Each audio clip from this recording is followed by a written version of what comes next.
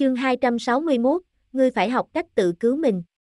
Miệng nó phun ra từng chuỗi phù chú, mặt cắt dưới chân rung chuyển không ngừng, thế nhưng từ dưới cắt chui ra vô số cương thi, dương nanh múa vuốt hướng về kia mười mấy tên mã tặc xông đến, mấy tay đạo tặc kinh hãi, thanh đao trên tay chém tới, lại vượt qua cương thi, như là chém vào không khí, bọn họ ngẩn ngơ, người cầm đầu bỗng nhiên cười ha hả, thì ra là giả dối, tiểu hồ ly ngươi sử dụng loại chướng pháp nhãn này cũng vô dụng thôi, hắn còn chưa cười xong, trước mắt có một bóng trắng chợt lóe lên, tiếp theo trong chớp mắt thấy đôi bàn tay nóng bỏng tê rần, hắn vung tay tóm lấy, nhưng tiểu hồ ly thân mình linh hoạt dị thường, chạy trên lưng, trước ngực, giữa cổ, trên mặt, mau lẹ vô cùng, chạy tới chạy lui, người này vung hai tay bắt lấy, nhưng tay hắn mặc dù mau, tiểu hổ ly này lại nhanh hơn hắn gấp bội, hắn mỗi cái túng đều là vào khoảng không, người bên ngoài chỉ thấy hai tay của hắn vung lên, trên lưng, trước ngực, trên mặt, giữa cổ nắm, bắt loạn cả lên, tiểu hồ ly kia lại vẫn là chạy không ngừng, Long Phù Nguyệt không khỏi cười ha hả, tiểu hồ ly, làm rất tốt, tiểu hồ ly này bốn chân móng vuốt thật là lợi hại, chỉ sau một lát, trên thân mình trần trụi của hắn đã xuất hiện nhiều vết cào nhỏ chảy máu do tiểu hồ ly đế lại, những đạo tặc khác không biết móng vuốt của nó có độc hay không, muốn dùng đao chém nhưng lại sợ làm bị thương thủ lĩnh.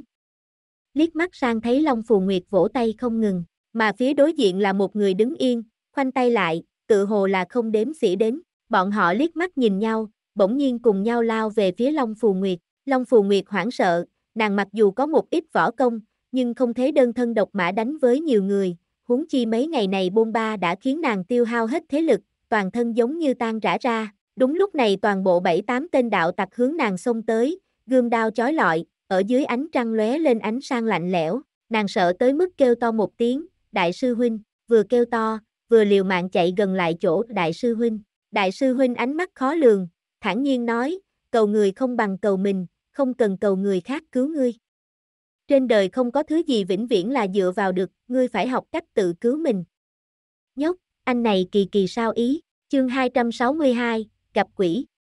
Long Phù Nguyệt nghe hắn ngay tại lúc quan trọng như thế này lại khoanh tay đứng nhìn, nhưng lại nói ra những lời nói đầy ẩn ý như thế, không khỏi ngẩn ngơ, thầm nghĩ mình ở hiện đại là một nữ sinh độc lập luôn tự cố gắng, nhưng xuyên qua tới đây, gặp khó khăn lại luôn dựa vào người khác, nàng âm thầm cắn răng một cái, ta không tin chính mình không giải quyết được, rút thanh đoạn đao duy nhất trên người ra, cùng mấy tên đạo tặc kia so chiêu. Long Phù Nguyệt là đồ đệ của quỷ y, võ công tuy thua hai vị sư huynh nhưng so với mấy tên đạo tặc thì thừa sức đánh bại, đánh một hồi, nàng bắt đầu lực bất tòng tâm, chân tay lúng cuốn, trận đánh đang ở thế hòa, nàng càng đánh càng mất tinh thần, nhưng bọn đạo tặc kia càng đánh lại càng kinh hãi, cũng không biết tại sao, mấy người bọn hắn tựa như là trúng tà, thanh đao chém ra luôn mất chính xác, tựa như có vật gì đó âm thầm dẫn dắt, làm cho bọn họ khó có thể phát huy trình độ như bình thường. Tiếp tục đánh một hồi, Long Phù Nguyệt dần dần chiếm thế thượng phong, tám chín tên đạo tặc kia lại như có chút luống cuốn tay chân.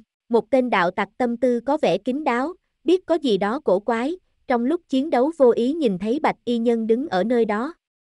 Nhìn thấy trên tóc hắn có hào quang, đó là một viên bảo thạch, độc nhất vô nhị, lóe ra ánh sáng bảy màu. Mặt hắn bỗng nhiên tái nhợt, thanh đao rơi xuống đất, hai mắt nhìn bạch y nhân kia, thần sắc hoảng sợ đến cực điếm, ngươi, ngươi là, hắn còn chưa có nói hết câu, thì tên đồng đảng ở phía đối diện giống như phát điên, một đao bổ tới chém đứt đầu hắn, máu cứ thế tuôn ra. Nhóc, ạc ghê quá che mắt lại, đám mã tặc này từ trước đến nay trên đao của bọn chúng luôn luôn đảm máu, hung tàn mà giữ tận bình thường giết người như ngoé, giết một người với bọn hắn ngay cả mắt cũng không chớp một cái, nhưng hôm nay, tên đạo tặc giết chết đồng đảng của mình trên mặt như thấy quỷ, vừa thấy bạn chết trong tay mình liền kêu a một tiếng, vứt đao xuống đất, chương 263, gặp quỷ hai. Mặt khác hắn thấy mấy người đồng bạn đang cùng Long Phù Nguyệt càng đấu càng hăng, không đề phòng hắn lâm trận phản chiến, giật nảy mình, nhìn công phu mà ngây người một lúc lại để cho hắn chém chết hai người, mà trong đó có một mã tặc giống như là có đồ vật gì đó dẫn dắt, lưỡi đao liền hướng về Long Phù Nguyệt mà xông đến. Chỉ nghe, phốc, một tiếng vang lên, Long Phù Nguyệt một đao thật sâu chui vào trong ngực người nọ, những người khác đều kêu to, nạp mẫu đa, ngươi điên rồi, nạp mẫu đa, con mẹ nó ngươi dừng tay, chấm chấm chấm chấm chấm chấm. Nhưng lúc này tên nạp mẫu đa giống như có ác ma nhập vào cơ thể, trong ánh mắt tràn đầy kinh hoàng, nhưng tay chân lại hoạt động không phải do ý của mình, hướng đồng bạn điên cuồng mà công kích, Võ công của hắn so với những người tại đây xem như là tốt nhất, hơn n nữa hắn lại nổi điên, càng về sau võ công lại càng cao gấp đôi, những người khác kinh hồn tán đảm, không rõ hắn bỗng nhiên phát điên vì cái gì, những người khác vừa thấy không ổn, cũng bất chấp không bắt Long Phù Nguyệt nữa, phát một tiếng kêu, nhảy lên người, chạy bốn phía, mà tên đầu đảng kia gần như đem thân thể của mình đánh đến sưng lên, vẫn như cũ không chạm được nửa cọng lông của con hồ ly, vết máu trên người như mạng nhện dày đặc, ẩn ẩn thế nhưng đã hình thành một cái hình vẽ con rùa. Hắn chợt thấy đồng bạn chạy tán loạn, không biết chuyện gì xảy ra, trong lòng càng thêm bối rối. Bỗng nhiên tên đồng bạn phát điên tự nhiên lao đến, hàng quan chợt lóe, một đao đâm đâm vào trong bụng đầu mục. Tên đầu mục này đang bị tiểu hồ ly trêu đùa một cổ lửa giận không chỗ phát tiết, giờ phút này đồng bạn lại một đao đâm vào trong bụng hắn, nháy mắt kích thích tính hung hãn của hắn, võ công của hắn tự nhiên so với những người khác cao hơn rất nhiều, cũng gần như cùng lúc này, đao của hắn hướng về phía đồng bọn đang phát điên bổ tới, máu tươi văng tung tóe, một đao này của hắn bổ trúng vào trên vai đồng bạn, nhất thời đưa thân mình tên kia sẽ làm đôi, hai người đồng thanh kêu to, lại đồng thời ngã xuống đất, hai thân mình trên mặt đất run rẩy một chút, không bao giờ động đậy nữa. Tiểu hồ ly sớm nhảy ra, trung đám lông trắng lên trên người, dương dương đắc ý nhìn Long Phù Nguyệt, chương 264, ai dở trò quỷ. Tiểu hồ ly sớm nhảy ra, trung đám lông trắng lên trên người, dương dương đắc ý nhìn Long Phù Nguyệt. Long Phù Nguyệt lại ngơ ngác đứng ở nơi đó, hai mắt đăm đăm, ta ta đã giết người, tiểu hồ ly nhảy đến trên người của nàng, móng vuốt nhỏ vỗ vỗ mặt của nàng, đừng sợ, giết người có gì đặc biệt hơn người. Ngươi không giết người kia thì người kia sẽ giết ngươi, nói cho ngươi biết. Ta cho tới bây giờ chưa từng giết người. Ô ô ô. Dao găm trong tay Long Phù Nguyệt rốt cục rơi trên mặt đất, nàng dùng hai tay che mặt, không dám nhìn bộ dạng mã tặc đã bị giết dưới tay nàng. Không có việc gì, không có việc gì, chuyện gì cũng sẽ có lần đầu mà, lần sau lại giết người sẽ không sợ. Tiểu hồ ly ở trong ngực của nàng quýnh lên an ủi, Long Phù Nguyệt gần như bị nó nói dở khóc dở cười, vỗ đầu nó một chút, còn lần sau giết người. Ta mới không cần. Giết người lúc này đã đủ cho ta gặp ác mộng nửa năm. Cũng không phải chơi game, chuyện gì cũng có làng đầu. Tiểu hồ ly co cổ lại, mặt hồ ly nhìn qua dĩ nhiên là cười tủm tỉm, đúng rồi, mấy tên này tại sao bỗng nhiên lại giống như nổi điên. Người một nhà với nhau mà đứng lên chém, Long Phù Nguyệt kinh ngạc nhìn nhìn nó, ta còn tưởng rằng là ngươi dở trò quỷ chứ, nói như vậy, không phải ngươi. Quay đầu nhìn đại sư huynh một cái, đại sư huynh, không phải là huynh dở trò quỷ chứ, người nọ lại cũng không trả lời nàng, xoay người ở trên người mấy cổ tử thi tìm ra vài cái túi da dê, trong túi có lương khô cùng nước trong. Hắn ném cho Long Phù Nguyệt vài cái, ngươi có thể không cần ăn thịt sói, Long Phù Nguyệt ngẩn ra, theo bản năng tiếp được gói to của mấy người kia. Này nếu là ở trước kia, nếu là lấy đồ ăn xuống từ người chết, nàng đánh chết cũng sẽ không nhận. Nhưng bây giờ, nàng chỉ có thể nhận, nàng đưa mắt đảo qua bốn phía, đại sư huynh, chúng ta đổi chỗ ở đi, nơi này đáng ghét, người nọ gật gật đầu, mang theo nàng lại đi về phía trước một đoạn, đến một ở sau lưng cái cùng các ngồi xuống nghỉ ngơi, mặc dù chỉ là đồ ăn bình thường bánh bao trắng, thậm chí có chút cứng rắn, nhưng giờ phút này ở trong mắt Long Phù Nguyệt không thua gì sơn hào hải vị, nàng cho tiểu hồ ly một cái, sau đó chính mình ăn một cái, ăn no, lại đã uống vài ngụm nước trong, lúc này trái tim đập không yên cuối cùng mới an ổn xuống dưới, chương 265, bị từ bỏ. Người nọ hơi hơi ho hai tiếng, cũng ý tứ ăn một chút, thở dài một hơi, ngủ đi, ngày mai còn phải dậy sớm để đi. Long Phù Nguyệt cũng thật là mệt mỏi, gật gật đầu, tựa vào trên cồn cát, đã ngủ, mặt trời lại mọc lên. Trong sa mạc độ ấm nhanh chóng lên cao, cũng đem Long Phù Nguyệt phơi nắng tỉnh lại. Nàng mê mê mang mang mở to mắt, nhìn nhìn mặt trời chói lọi kia, ngáp một cái, mặt trời đã cao như vậy rồi, đại sư huynh, tại sao huynh không gọi ta tỉnh? Một câu chưa nói xong, nàng bỗng nhiên nghẹn họng. Người kia sao lại không có ở nơi này?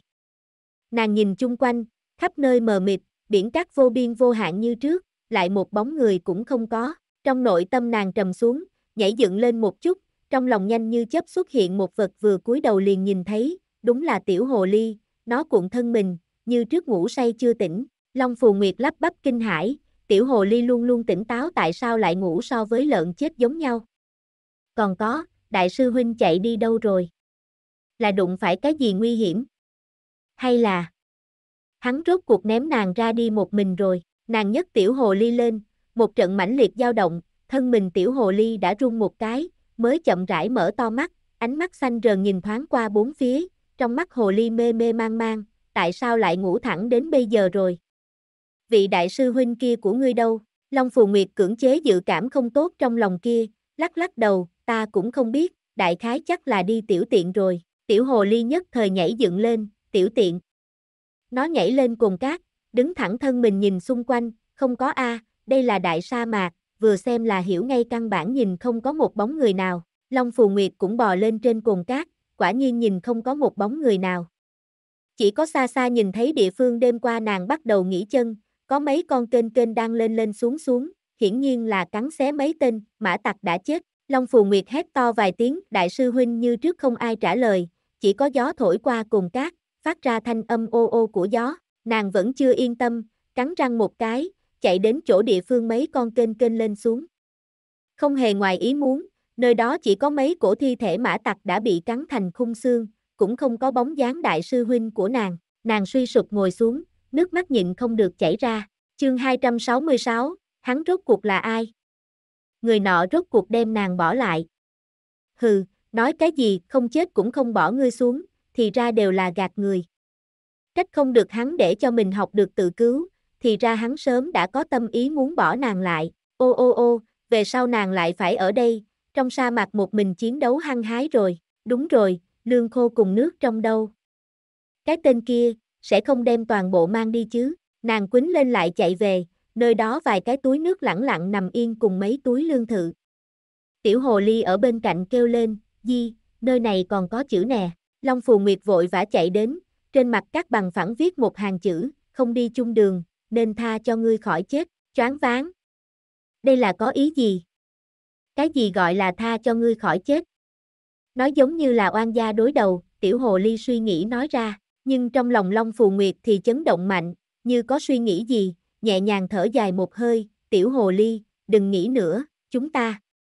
Có lẽ thật sự đã tìm được đường sống trong chỗ chết, tiểu hồ ly ngẩng đầu, nói thế là sao, Long Phù Nguyệt thở dài, hắn có lẽ chính là người của nước Diêu Quang, hơn nữa, thông qua buổi nói chuyện tối hôm qua, hắn có lẽ cũng đoán được thân phận của ta. Hắn không giết chúng ta là đã nhân đạo lắm rồi, tiểu hồ ly co cổ lại, kỳ quái, ta tối hôm qua làm sao có thể ngủ mê như vậy, Long Phù Nguyệt trầm ngâm một chút, người nọ thủ đoạn kỳ lạ, cũng nói không chừng hắn ở trên người ngươi sử dụng pháp thuật gì đó, tiểu hồ ly gật gật đầu, như thế, chỉ sợ tối hôm qua trên người của mấy tên mã tặc nổi điên kia cũng là do hắn dở trò quỷ, Long Phù Nguyệt cười khổ một cái, chúng ta ba người, không phải ngươi, không phải ta, dĩ nhiên là hắn. Ai, người này công phu sâu không lường được, nếu như thật là cùng hắn làm đối thủ, nhờ thế cũng thật sự là không ổn. Tiểu hồ ly lại gật gật đầu, chỉ sợ đại vũ mau nhà ngươi cũng không phải đối thủ của hắn. Nhìn vẻ mặt hắn, địa vị hắn khẳng định không thấp, nói không chừng cũng là thừa tướng. Long Phù Nguyệt hơi hơi nhíu nhíu mày, lắc lắc đầu, sẽ không. Người này nhìn qua còn trẻ như vậy, hẳn là còn ngồi không đến vị trí kia. Nghe nói Diêu quan quốc chủ sự có đại tế sư cùng đại vu sư, nói không chừng hắn là đệ tử của hai người kia cũng nên. Chương 267, Ngọc Kiều Long Đến mức độ này, Long Phù Nguyệt cũng chỉ có dựa vào chính mình. Cũng may hiện tại thức ăn nước uống sung túc, nàng nhất thời không sợ bị chết khát hay đói chết, nhưng là nên đi theo phương hướng nào a? Trong sa mạc chỉ cần lỡ một bước chân sẽ lệch xa ngàn dặm, một khi đi nhầm, chỉ sợ ngay cả ốc đảo trú chân cũng không tìm được. Tiểu hồ ly thì lại tin tưởng tràn đầy, yên tâm, trên đường này có của mùi hắn, chúng ta cứ đi theo mùi của hắn. Long Phù Nguyệt sửng sốt, không khỏi nở nụ cười, vỗ vỗ đầu tiểu hồ ly, tiểu hồ ly, không nghĩ tới ngươi còn có cái mũi thính của chó. Tiểu hồ ly trợn trắng mắt, không cần lấy ta cùng bọn chó đó so sánh, ta là hồ ly thượng tiên. Đúng, đúng, ngươi là hồ ly thượng tiên, chúng ta có thể cùng lên đường được chưa? Long Phù Nguyệt sờ sờ đầu của nó, đúng rồi, tiểu hồ ly, ta đặt cho ngươi cái tên, cứ gọi ngươi là hồ ly mãi cũng không được, người ta nuôi sủng vật cũng đều có tên. Tiểu hồ ly trợn tròn hai mắt, ngươi nghĩ tên cho ta là gì? Chó và mèo ta đây cũng không đáp ứng. Nói gì thì nói ta đây không phải sủng vật, Long Phù Nguyệt nở nụ cười, tiểu hồ ly của nhà ta tự nhiên cái tên cũng không thể là tên bình thường nha. Nàng xem nó một thân mình có một ít da lông tuyết trắng, trầm ngâm một chút, gọi Tuyết Nhi được không? Tiểu hồ ly cái đầu lắc lắc giống như trống bỏi, trống con nít chơi thì phải, không tốt, không tốt. Nhưng mà ta là giống đực, tên này tuyệt không có nhiệt huyết, ta không thể nào giống nữ hài tử. Ta muốn cái tên giống dạng Long nhất uy vũ khí phách, Long. Long Phù Nguyệt nhìn trên dưới đánh giá nó một chút, ngươi làm sao giống rồng chứ, trong lòng bỗng nhiên vừa động, vỗ tay nói, gọi ngươi là Ngọc Kiều Long được không? Tên này thực sự đủ phong cách, tiểu hồ ly đảo tròn mắt, lo nghĩ. Gật gật đầu, được. Bổn thượng tiên sẽ mang tên này. Ha ha, ta cũng có tên rồi, tiểu hồ ly ra vẻ thực thích tên này, miệng nhớ kỹ tên mới của mình, lại lộn vòng trên không trung mấy cái, Long Phù Nguyệt lại âm thầm cười trộn. Này, Ngọc Kiều Long là nàng xem một quyển tiểu thuyết nữ chủ nhân là tên này, bất quá, nàng cũng không thể nói cho nó biết, bằng không với cái não của hồ ly này, nói không chừng lại dùng tiểu móng vuốt đem nàng công thành diễn viên hí khúc, một người một hồ lại đi thẳng về phía trước, chương 268, là ai lại có cái tên gọi ghê tởm như vậy? Lại đi tiếp 2-3 canh giờ, Long Phù Nguyệt đang bị mặt trời chiếu có chút choáng váng, tiểu hồ ly bỗng nhiên dựng hai lỗ tai lên, nghiêng tai nghe xong vừa nghe, kêu lên, không tốt. Giống như lại có một đại đội nhân mã đang đến, Long Phù Nguyệt lắp bắp kinh hãi, không phải là mã tặc chứ, vội vàng tìm một cồn cát ẩn thân, ngẩng đầu nhìn lên. Liền thấy vạn dặm xa trên bầu trời xanh không mây, đột nhiên bốc lên một lớp bụi mù màu vàng, mặt đất gần như chấn động. Ẩn ẩn còn có vài tiếng chó sủa vang, tiếng chân đột nhiên vang lên, như trống trận sấm sét, động đất mà đến, tiểu hồ ly hoảng sợ, sẽ không phải là mã tặc chứ. Nghe tiếng chân đến đây không ít, chỉ sợ chúng ta không phải đối thủ, vừa ngẩng đầu, đã thấy biểu tình trên mặt của Long Phù Nguyệt giống như khóc lại như cười, thân mình rung nhẹ nhẹ, hướng về hướng tiếng chân kia chạy nhanh đến hai bước, làm sao vậy? Tiểu hồ ly gắt gao ngậm quần áo của nàng, Long Phù Nguyệt vương tay ôm lấy nó, là cục cưng, là cục cưng đến đây, cục cưng. Vẻ mặt tiểu hồ ly buồn bực, là ai có cái tên gọi ghê tởm như vậy, ý nghĩ trong đầu vẫn chưa suy nghĩ xong, đã thấy một đầu màu đen giống như con nghé con, khi con chó ngao Tây Tạng chạy tới trước, phía sau là một tuấn mã, trên lưng có một người ngồi, trên người áo bào trắng theo gió bay lên, tiểu hồ ly vừa nhìn thấy hắn, nhất thời hét lên một tiếng, đại vũ mau, người tới chính là Phượng Thiên Vũ, đảo mắt đến gần đó, đột nhiên phi thân lướt xuống, đứng ở nơi đó, trong nháy mắt ngơ ngẩn nhìn Long Phù Nguyệt không chớp mắt, biểu tình trên mặt giống như vừa mừng vừa lo, hoặc như là không thể tin được, một đôi mắt màu lam sáng như có ánh sáng lóe ra, hắn chậm rãi đưa tay ra, chạm nhẹ nhẹ vào hai má của Long Phù Nguyệt, tiểu Nguyệt Nguyệt, thật là nàng. Long Phù Nguyệt cũng ngây ngốc nhìn hắn, niềm vui đến đột ngột như thế này làm cho nàng không biết nói cái gì cho phải, nước mắt bỗng nhiên chảy ra, sợ run một lát, nàng oao một tiếng khóc lên, liều lĩnh bổ nhào vào trong lòng Phượng Thiên Vũ, Vũ Mao sư huynh, tại sao bây giờ ngươi mới đến, ô ô ô, ngươi chậm thêm đến vài ngày, ta sẽ chết phơi thay ở đây rồi, Phượng Thiên Vũ ôm chặt lấy nàng, giống như ôm lấy một bảo bối đã mất đi mới tìm lại được, ôm thân mình mềm mại của nàng, thân thể hắn cũng hơi có chút run run, mấy ngày nay hắn tìm nàng muốn tìm điên rồi. Chưa từng có một loại cảm giác khi mất đi nàng tê tâm liệt phế đến mức này, chương 269, lộ từ từ chi tìm kiếm một. Hôm đó hắn truy kích đám đào binh của Diêu Quan Quốc, men theo dấu chân đám đào binh này tìm được một căn cứ bí mật được thiết lập của nước Diêu Quan. Căn cứ bí mật kia so với đám người của hắn giống như muốn nhiều không ít.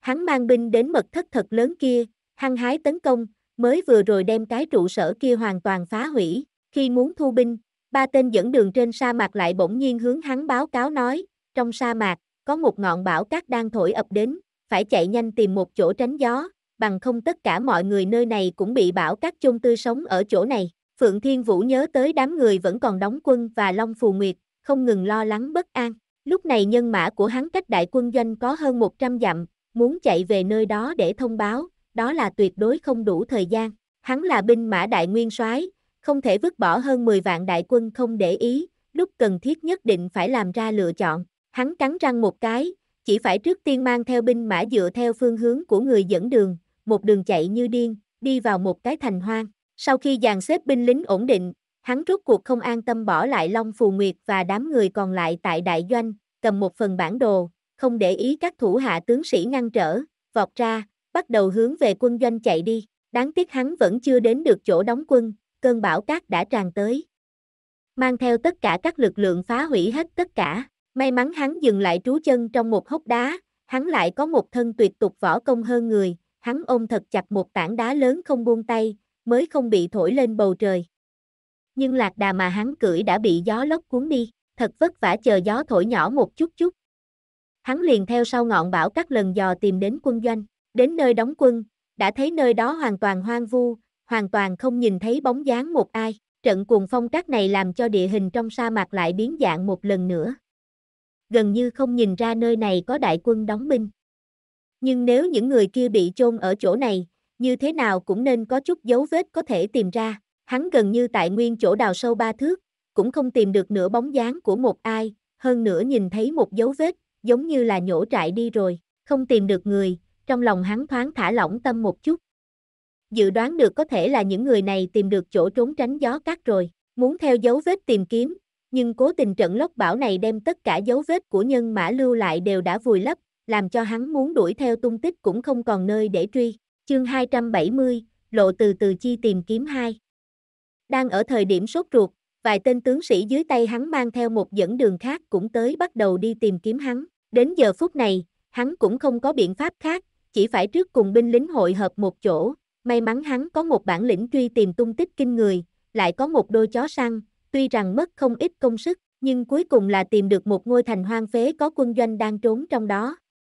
Cũng thấy được hạ tướng Trương Vân Long dưới tay hắn, hai phương nhân mã hội hợp, may mà bởi vì tránh né đúng lúc, nhân mã của hắn cũng không có tổn thất bao nhiêu. Trương Vân Long cũng quỳ trên mặt đất không dám nhìn, đem chuyện Long Phù Nguyệt phát hiện manh mối cơn bão cát, cùng với chuyện dẫn dắt rất nhiều người này chạy trối chết, trốn cơn giận dữ của sa mạc, cuối cùng nàng cùng tiểu hồ ly lại bị gió cuốn đi nói một lần, sắc mặt Phượng Thiên Vũ trắng bệch, gần như tê liệt ngã xuống trên mặt đất.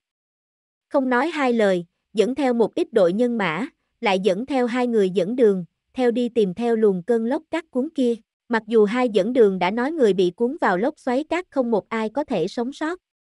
Nhưng nhìn đến sắc mặt của Phượng Thiên Vũ, những lời này như thế nào cũng không dám nói ra khỏi miệng. Cứ như vậy tìm hai ngày hai đêm, Phượng Thiên Vũ gần như là không ngủ không nghỉ, ven đường hắn cũng đã từng gặp thật nhiều lữ nhân bị gió to vùi lấp, hầu như bị các loại chim chóc bay trên trời, hay thú hoang cắn xé chỉ còn một bộ xương trắng. Mỗi bộ xương hắn đến tra xét thật kỹ, vô cùng hốt hoảng sẽ là nàng, cũng may cũng không phải nàng. Cứ như vậy tìm gần ba ngày, ngay tại khi hắn gần như tuyệt vọng, bỗng nhiên đụng phải một tên mã tặc. Nhóm mã tặc này không biết có phải càng rỡ quen thói hay không, thế nhưng đến tập kích đội ngũ của hắn, hắn đang một bụng lửa giận không chỗ phát tiết, đương nhiên là đem nhóm mã tặc kia diệt sạch toàn bộ, cũng trên người một tên mã tặc tìm ra một thanh đoạn kiếm, chui đoạn kiếm này đúng là Long Phù Nguyệt từng đeo, trải qua thẩm vấn mới biết được, chui đoạn kiếm này là tên mã tặc kia ở trên đường nhặt đựa C, mặc dù không có tin tức xác thực của Long Phù Nguyệt, nhưng đoạn kiếm của nàng nếu thất lạc mát ở trong này, vậy chứng minh phương hướng của hắn truy tung là không có sai. Tối hôm qua, thời gian vào khoảng canh 4, hắn đột nhiên nhận được một phong thư, trên thư có bản đồ đi kèm, còn có một dúng lông hồ ly. Tuy rằng người dẫn đường còn có các tướng sĩ nói có thể là cạm bẫy, nhưng hắn ôm một phần vạn hy vọng, vẫn là liều lĩnh đến đây. Lại mang theo chó ngao Tây Tạng cục cưng, một đường truy tung, rốt cục gặp được nàng.